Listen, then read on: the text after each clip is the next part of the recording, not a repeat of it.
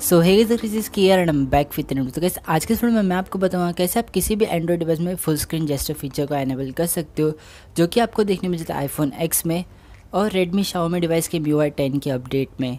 सो guys इस feature को enable करने के लिए आपको जो है ना ही अपने फ़ोन को रूट करना पड़ेगा, ना ही अपने फ़ोन का बूट लोडर अनलॉक करके कोई कस्टमर रोम इंस्टॉल करना पड़ेगा। आपको जो है सिंपली एक काम करना है, आपको जो है सिंपली जाना है अपने प्ले स्टोर में एंड वहाँ पे जाके आपको एक एप्लीकेशन को डाउनलोड एंड इंस्टॉल करना है, जिसका नाम है फ्लूड नेविगेशन जेस्टर्स और गैस इसको इंस्टॉल करने आपको जो है इसको सारी की सारी परमिशन दे देनी है। और गैस मैं फिर से रिपीट कर रहा हूँ, आपको जो इस एप्लीकेशन को सारी की सारी परमिशन दे देनी है। अगर आप एक भी परमिशन ठीक से नहीं देते तो ये एप्लीकेशन आपके लिए बिल्कुल भी काम नहीं करेगा। बात करते हैं इस ऐप के फीचर की। सो जैसे आप अपनी स्क्रीन के डाउन साइड से स्वाइप अप करते हो, आप आ जाओगे अपने होम स्क्रीन पे और जैसे आप स्वाइप अप एंड होल्ड करोगे, आप जो है आ जाओगे अपने रिसेंट पैनल में।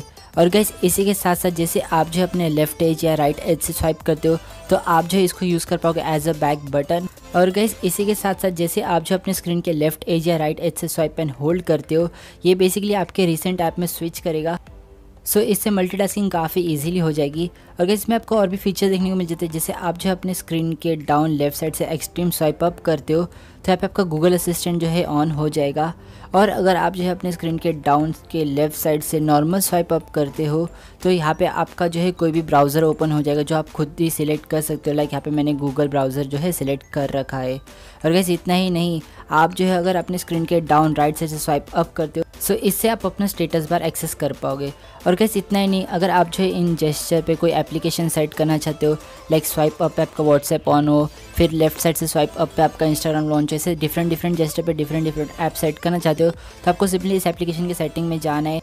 और सिंपली सेटिंग वाले ऑप्शन में आके आप जो है डिफरेंट डिफरेंट जेस्टर पे different different actions different app या डिफरेंट शॉर्टकट जो है सेट कर सकते हो। सो गैस अब बात करते हैं इस एप्लीकेशन की कुछ कंक्लूजन की। तो ऐप प्ले स्टोर पर एकदम ही न्यू है। अर्ली एक्सेस वाले स्टेज में है। तो गाइस इस एप्लीकेशन में थोड़े से बग्स है। लाइक कभी कभी ये जो है बैकग्राउंड में काम करना बंद कर देता है। और ये हर एक डिवाइस के लिए नहीं होता है। मैंने जो है इसको अपने दो तीन डिवाइसेस में ट्राई किया। सो मेरे मोटो के डिवाइस में कभी कभी इसने जो है बैकग्राउंड में वर्क करना बंद कर देता। है सो गाइस ये सारी छोटी मोटी चीज़ें अपडेट के बाद तो फिक्स कर दी जाएगी। सो इस एप्लीकेशन को आप ट्राई करके मुझे ज़रूर से बताना, ये एप्लीकेशन आपके लिए कैसा वर्क करता है। सो ये आपको कैसे लगा मुझे कमेंट्स में कमेंट करके ज़रूर बताना। और कैसे मंडे को हमारे इंस्टाग्राम पर होने जा रहा है क्यू एन ए सो अगर आपका कोई सवाल है तो आप मुझे इंस्टाग्राम पर फॉलो करके पूछ सकते हो। सो आज के लिए बस इतना ही। अगर आपको पसंद हो रहा है शेयर ज़रूर करना। अगर आपने तो हमारे चैनल सब्सक्राइब नहीं किया तो सब्सक्राइब कर लीजिए। साथ में जो बेल आइकन है, उसे प्रेस कर दीजिए ताकि आपको नोटिफिकेशन मिल जाए जब भी मैं कनेक्ट करूँ। So press the bell icon and updates